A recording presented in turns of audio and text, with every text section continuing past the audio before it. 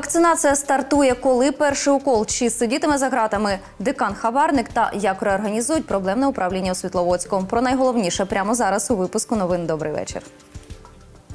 12 тисяч 100 доз вакцин від коронавірусу отримала Кіровоградщина. Цього вистачить для вакцинування 6 тисяч медиків. Вже від завтра спеціальні мобільні бригади почнуть проводити перші щеплення.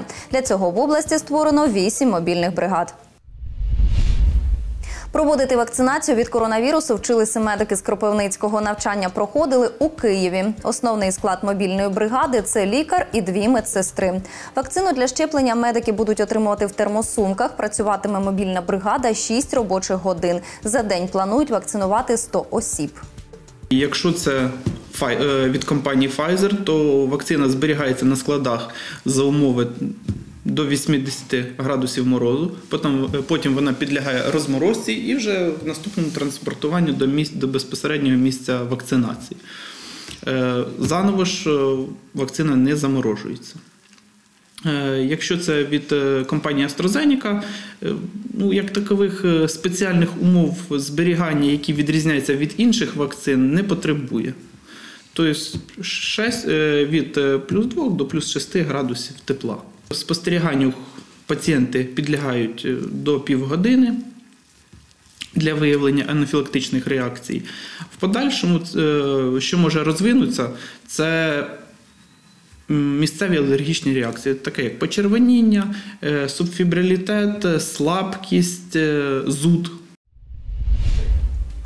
Два місяці під вартою такий запобіжний захід обрали у Ленінському суді декану льотної академії, якого підозрюють у хабарництві. Однак підозрюваний може вийти за ґрат, внісши заставу більше ніж у 150 тисяч гривень. Нагадаю, декан факультету льотної експлуатації та обслуговування повітряного руху Валерій Шульгін вимагав у студентки гроші за допуск до практичних польотів. Вартість одного такого допуску декан оцінював в 11,5 тисяч доларів. Чоловіка затримали на робочому місці на гарячому. У разі внесення застави покласти на Шульгіна Валерія Анатолійовича на строк до 22.04.21 року наступні обов'язки. Прибувати за кожною вимогою до слідчого прокурора чи суду, не відлучатися без дозволу слідчого прокурора або суду із населеного пункту, в якому він зареєстрований і проживає, утриматися від спілкування зі свідками та іншими учасниками у даному кримінальному провадженні. Ліквідувати два управління: одне освіти, інше молоді та спорту. А замість них створити одне. Таке рішення прийняли депутати Світловодської міськради на засіданні сесії. Все через критичну ситуацію, що склалась навколо освітян. Ліквідувати обидва управління ліквідаційні комісії мають за два місяці. Взяти на себе відповідальність профільні комісії відмовились. Відтак, контроль за виконанням рішення поклали на міського голову Андрія Маліцького. Прийняття цього рішення необхідне для оптимізації структури та чисельності виконавчих органів ради, усунення дублювання їх повноважень, забезпечення скорочення чисельності управлінського апарату та витрат на його утримання, оперативного задоволення потреб мешканців громади та зв'язку з ситуацією, яка склалася в управлінні виконавчого комітету Словицької міської ради. На 3 гривні більше платитимуть за воду жителі мікрорайону Завадівка у Кропивницькому. Там півтисячі абонентів обслуговує інгульська шахта. Якщо раніше споживачі сплачували майже 16 гривень за куб води, то відтепер платитимуть майже 19. Це ціна за водопостачання і водовідведення разом. По новому тарифу жителі Завадівки будуть платити вже з 23 лютого. Він буде чинним рік. Якщо не підняти тариф до е, того, яку на виконкомі підняли 1876, то у них е, підприємство понесе збитки в межах 95 тисяч гривень.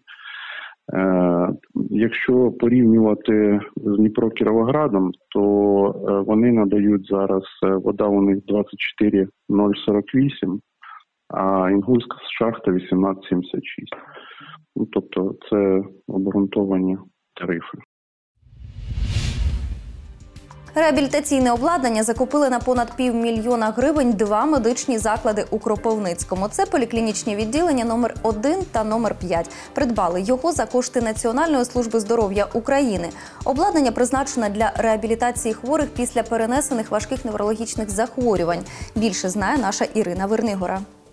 Аби розвинути дрібну моторику рук, пацієнти, які мали переломи, інсульт та хворі на ДЦП, зможуть займатися на цьому тренажері. Всього в одній поліклініці вісім нових тренажерів. Серед них бігові доріжки, м'ячі, сходи та дрібний інвентар. Обладнання спрямоване на відновлення рухових функцій рук, ніг, суглобів, навиків ходьби та дрібної моторики пацієнтів. Проводимо реабілітацію хворих в основному з травматологічною патологією, неврологічною, опорно-руховий апарат. І зараз приймаємо хворих з інвалідністю. Маємо нове обладнання, яке тільки закуплено. Вчимося, працюємо. Хочемо вам продемонструвати тренажер для відновлення нижніх кінцівок після переломів, після інсультів. Дуже ну, легкий в використанні. Хворий сідає, фіксується його нижні кінцівки. Потім виконує різні вправи з вантажем. Вантажі міняються тут, збільшуються, зменшуються. Збільшується, зменшується кут нахилу, все воно піднімається, опускається. Вдруге прийшла на процедури пенсіонерка Ніна Бородіна. Три місяці тому вона мала перелом плеча. Мне врач приписал процедуры эти. А що це за вправа для чого? Раскачивает плечо. Мяч, это, палочки, лестница. Это все я принимаю. Я готова на все, чтобы только помогло. Без нового обладнання лікування пацієнтів було неповноцінним, говорить директорка комунального закладу поліклінічне об'єднання. Дуже було потрібно, тому що е, в даний час е, питанням реабілітації е, приділяється дуже багато уваги. Хворих багато, е, проблеми периферичної нервової системи, проблеми суглобів, е, проблеми е, позвоночника. Вони якось виступають на перше місце. І це ті захворювання, яким хворим, з якими захворюваннями можна допомогти.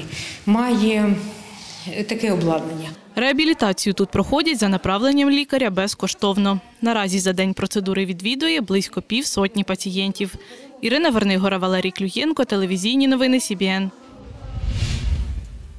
Друге видання книги про нашого земляка, вченого філософа та історика Дмитра Чижевського презентували краєзнавці Кіровоградщини. Це науково-методичний посібник. Презентували його в Олександрії у центральній бібліотеці. Збірка розширена і доповнена новими матеріалами про життя, навчання і наукові праці вченого. Автори статей відомі краєзнавці Кіровоградщини Лариса Гайда, Андрій Іванко, Валерій Жванко та Надія Жахалова. Книга буде доступна у всіх бібліотеках міста. Також під час заходу порушили актуальне питання щодо створення музею Дмитра Чижевського в Олександрії у його рідному будинку, де донедавна працювала районна бібліотека. Якщо говорити коротко про його величину, треба розуміти масштаб цієї особистості, яка досі не осягнута. Він е, в своїй творчій автобіографії написав: Я видав 88 наукових книг на восьми мовах. Е, Людину такого масштабу треба знати, цінувати, і той спадок, який залишився, зокрема архітектурний, треба зберегти. Музей Дмитра Чижевського в місті Олександрії може стати мега крутим, може стати світового масштабу. До речі, долю цієї бібліотеки вдалося вирішити завдяки наполегливості юної письменниці. 15-річна Аліна Шевченко написала в Міністерство культури, і на її лист відреагував особисто міністр. Тож це гарний приклад бути наполегливим і не перед чим не зупинятися. Гарного вечора. Про погоду Валентина Шаповал далі.